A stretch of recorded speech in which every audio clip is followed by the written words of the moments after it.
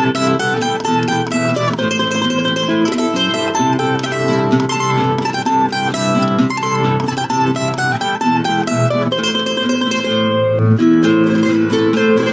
mis amigos, el panecillo está coronada por una escultura de aluminio de la Virgen María, creada por el español Agustín de Mator, el cual se inspiró en la obra de Bernardo de Legarda. Este sector del panecillo se volvió peligroso cuando estaba la famosísima banda de la Mamalucha. En esos tiempos, este sector era peligroso y afectó bastante el turismo. Después que esa banda fue capturada, pues los integrantes se comenzaron a dispersar y así fue como este sector se volvió otra vez eh, turístico y se volvió a. Y pues ahora está bastante, bastante lindo. No puede faltar, faltar la de cristal. También el mijo que lo toma sin pagar. pero no le etiquetes. Y cuando suena, suena, suena el joyayay. El niño en mí no se resiste a zapatear.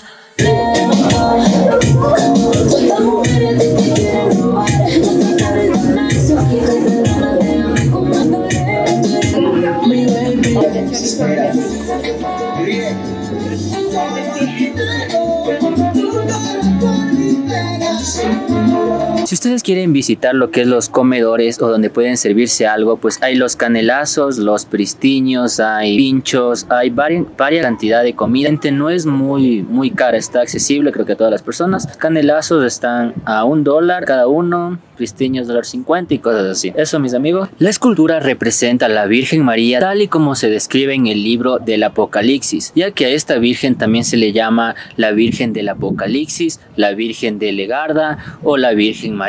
Una mujer con alas, una cadena que apresa una serpiente, que es la bestia que representa el 666. La escultura reposa en un edificio de cuatro niveles, construido en hormigón y revestido de piedra volcánica, donde ustedes pueden acercarse y pueden entrar y pueden ver un museo en el que se relata la historia del milenario panecillo. Y si se preguntan por qué se le llama panecillo, es porque si tú lo ves desde el centro histórico de Quito o desde la Tola o desde el centro de la Marín, puedes ver que es un pan pequeño. Entonces por eso se le puso panecillo a este gran, gran mirador natural. El panecillo es una elevación natural de 3.000 metros sobre el nivel del mar, 200 metros más alto que el promedio de la ciudad de Quito, enclavada en el corazón mismo de la ciudad de Quito. Es el sitio más visitado de la ciudad, por su ubicación se ha convertido en el más importante mirador natural de la ciudad, desde el que se puede apreciar la disposición urbana de la capital ecuatoriana desde su centro histórico y hacia los extremos norte y sur, época aborigen y colonia.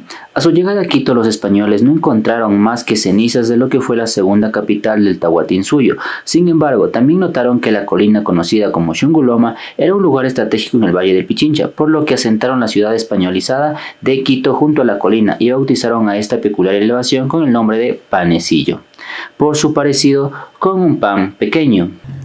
Bueno mis amigos, espero que les haya gustado este video, ya saben que si les gustó pueden suscribirse en la parte de acá abajo, darle like a este video, compartirlo con todos sus amigos y comenten, comenten cualquier cosa en la parte de acá abajo, yo se los veo y se los respondo. Y pues nos vemos en el próximo video, chao chao. Con los terroristas.